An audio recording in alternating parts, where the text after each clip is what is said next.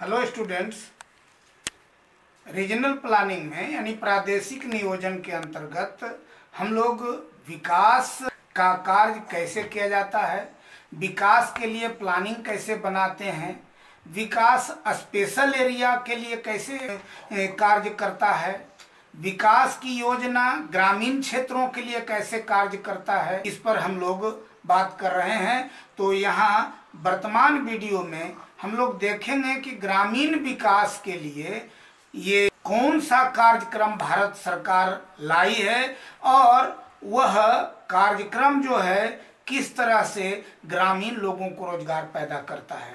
तो हम देखें, ग्रामीण विकास योजना के रूप में आज मनरेगा किया का योगदान। मनरेगा कहाँ तक सक्षम है? प्रादेशिक नियोजन में हम लोगों ने देखा पूर्व के वीडियो में कि पहाड़ी क्षेत्र का नियोजन कैसे करते हैं और उसका विकास कैसे होता है ड्रॉट प्रोन एरिया में क्या योजना कर सकते हैं और उसका विकास कैसे होता है, अब यहाँ देखेंगे कि ग्रामीण योजना में, ग्रामीण विकास के लिए जो नियोजन होता है, भारत सरकार ने मनरेगा के माध्यम से किस प्रकार का योजना लाई है कैसे वह काम करता है ग्रामीण क्षेत्रों में, कैसे ग्रामीण क्षेत्रों के लिए वह रोज़गार प्रदान करता है और विकास के क्या काम होते हैं। तो यहाँ सबसे पहले मनरेगा एक सामाजिक प्रोजेक्ट है, जिसके दो प्रमुख विशेषता है।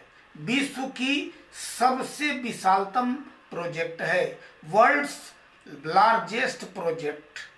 एक और दूसरी बात है मोस्ट एम्बिशस प्रोजेक्ट है, सर्वाधिक महत्वाकांक्षी योजना है, यह समाज के लिए है, सामाजिक लोगों के लिए है। World's largest and most ambitious and social project was designed as MNREGA. विश्व के विशालतम एवं सर्वाधिक महत्वाकांक्षी सामाजिक योजना है MNREGA. The scheme was introduced as a social measure ग्रामीण भारत में काम करने का अधिकार प्रदान करने की गारंटी देने वाली यह योजना है। यह गारंटी देती है the right to work in rural India ग्रामीण भारत में कार्य करने के अधिकार की गारंटी देती है। फिर यह एक पावरफुल यंत्र के रूप में काम करता है ग्रामीण विकास के लिए। MNREGA is a powerful instrument for the growth of rural poors in India Bharat में ग्रामीण विकास के लिए एक शक्तिशाली यंत्र के रूप में मनरेगा को लागू किया गया, जो मुख्य रूप, जिसका प्रभाव मुख्य रूप से तीन जगह पड़ता है। पहला सोशल प्रोटेक्शन इससे सामाजिक सुरक्षा मिलती है। दूसरा, आजीविका की सुरक्षा, गरीबों को आजीविका एक का साधन मिल जाता है इससे, और वह सुरक्षित होता है। ये नहीं कि वह तुरंत है और कल नहीं मिलेगा। नहीं, उसकी सुरक्षा, आजीविका की सुरक्षा भी प्रदान की जाती है। और तीसरी जो सबसे बड़ी है कि प्रजातांत्रिक ये देश है तो प्रजातंत्र सशक्तिकरण के लिए यह लोएस्ट लेवल से शुरुआत की जाए डेमोक्रेटिक इम्पावरमेंट किया जाए, प्रजातांत्रिक सशक्तिकरण किया जाए, इसके लिए यह एक महत्वाकांक्षी योजना के रूप में काम करता है। यह सोशल, आप देखेंगे, एक स्पष्ट कार्य कार्य दिखा रहे हैं कि पावरफुल यंत्र है रूरल पुअर्स के ग्रोथ के लिए, भारतीय ग्रामीण गरीबों के विकास के लिए, जहाँ सामाजिक सोशल प्रोटेक्शन मिलता है, लिवलीहुड की सिक्योरिटी मिलती है, और साथ ही साथ डेमोक्रेटिक इंपावरमेंट होता है।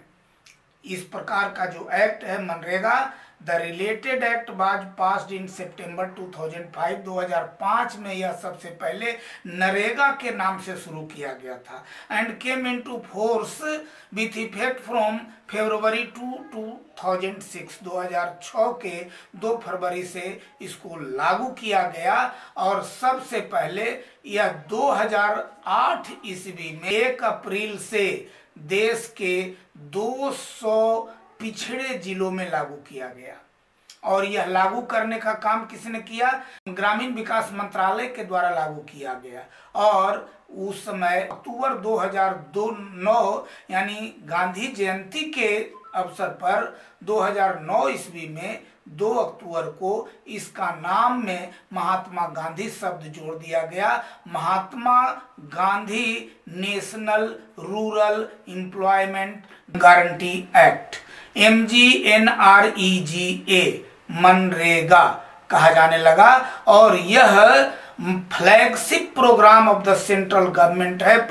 केंद्रीय सरकार का एक फ्लैगशिप यानी अम्ब्रेला सेप्ड प्रोग्राम है, जिसके तहत बहुत सारे कार्य संपन्न किए जाते हैं। प्रोग्राम डायरेक्टली टचेज दो जगह स्पर्श होता है प्रोग्राम का। एक लीव्स ऑफ़ द पुअर ग्रामीणों की आजीविका पर और दूसरा inclusive rural growth of India ग्रामीण भारत का विकास, गरीबों की आजीविका और ग्रामीण भारत का विकास इसमें आपको स्पष्ट रूप से दिखता है कि ये जो flagship programme of central government है, वह गरीबों की आजीविका के लिए और ग्रामीण भारत के विकास के लिए यह योजना काम कर रही है। फंक्शनल एरिया क्या है? MNREGA is exclusively functional in rural area स्पष्ट रूप से भारत के ग्रामीण क्षेत्रों में यह मनरेगा कार्यरत है। मनरेगा के द्वारा लाभ प्रदान किया जाता है। Every rural household with family members who have volunteered to do unskilled labor gets right to participate. ग्रामीण परिवार में से जो भी स्वेच्छा पूर्वक अनस्किल्ड लेबर यानी अकुशल काम को पाने की इच्छा रखता है। उसको, उसमें लोग भागीदारी होने का अधिकार प्राप्त प्रदान हो जाता है। और साथ ही साथ वह साल भर में, एक साल में, यानी तीन सौ पैंसठ दिन में, कम से कम 100 दिन कार्य देने की गारंटी प्रदान करता है। The work provided to rural workers will be the creation of various long term fixed assets, यानी दीर्घकालीन निश्चित संपदा का सृजन हेतु यह कार्य किया जाता है, जैसे कुआँ खोदना, यह दीर्घकाल तक रहेगा, तालाब खोदना, दीर्घकाल तक रहेगा, सड़क का निर्माण, नहर का निर्माण, ग्रामीण क्षेत्रों के विकास के लिए इसकी आवश्यकता है, और यह दीर्घकाल तक या इससे फ़ायदे होंगे। ग्रामीण क्षेत्रों में जो अनटैप्ड लेबर हैं, जो बेकार बैठे हुए हैं, वह बेकार बैठे मजदूर का सदुपयोग करता है, यह मनरेगा इसका की ऑब्जेक्टिव क्या? पहला की ऑब्जेक्टिव है। पहला उद्देश्य है ग्रामीण क्षेत्रों में रोज़गार पैदा कर generation of paid rural employment ऐसा रूरल एम्प्लॉयमेंट जिसपे पेमेंट किया जाता है। दूसरा, सौ दिन कम साल में कम से कम सौ दिन कार्य देने का प्रावधान है। Employment will be provided not less than hundred days in a year for each worker who volunteers for unskilled labour तीसरी बात है कि ग्रामीण गरीबों को मज़बूत आजीविका देता है। Proactively ensuring social inclusion by strengthening livelihood base of rural poor चौथा, जो की ऑब्जेक्टिव है कि creation of durable assets in rural India ग्रामीण क्षेत्रों में वैसे एसेट को विकसित करें, वैसे एसेट को, संपदा को सृजित करें, जो टिकाऊ हो, लंबे समय तक लाभ प्रदान करे, जैसे कुआँ, तालाब नहर, सड़क आदि। पचमा है कि reduce migration of people from rural areas to urban areas ग्रामीण क्षेत्रों से जो शहरी क्षेत्रों में प्रवजन हो रहा है माइग्रेशन ऑफ़ पीपुल हो रहा है, उसको रोकने का उद्देश्य है। छठा create rural infrastructure by using untapped rural labour जो बेकार बैठे ग्रामीण श्रमिक हैं, उनको रोज़गार प्रदान करना। सातवां है प्रिफरेंस, प्राथमिकता दिया जाए एससी को, एसटी को, ओमेन को। अनुसूचित जाति, अनुसूचित जनजाति एवं महिला को इसमें प्राथमिकता देना है। महिलाओं में कम से कम टोटल का वन थर्ड महिला लेबर होना चाहिए और ये सभी बीपीएल कैटेगरी के हों below poverty level category household हों, यह उद्देश्य है।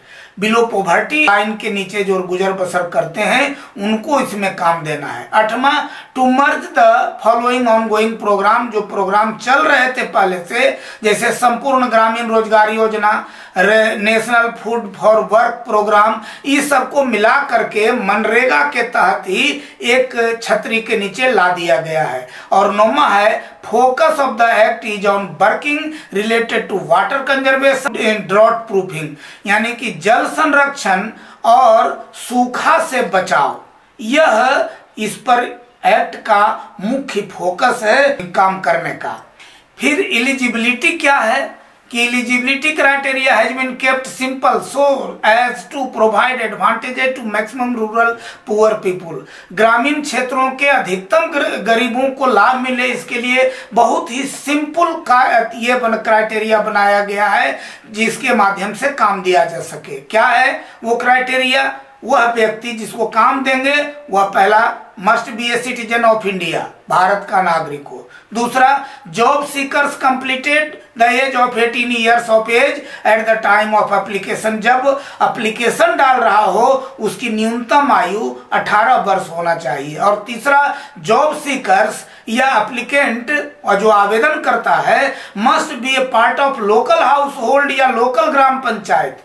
यानी स्थानीय परिवार का हो, स्थानीय ग्राम पंचायत से आता हो। Application applicants must volunteer for unskilled labour वह जो आवेदक है, स्वेच्छा से अकुशल श्रम की चाहत रखता हो।